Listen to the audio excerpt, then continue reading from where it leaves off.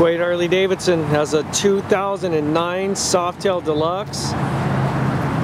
It's all done up guys. It's got spoke wheels 21 up front, white wall tires. It's got true duals on it. High flow, down load. It's got the Ape hangers, the Hog Tune speakers on it, steel braided lines. Come down to Quaid Harley Davidson, Loma Linda. Check it out.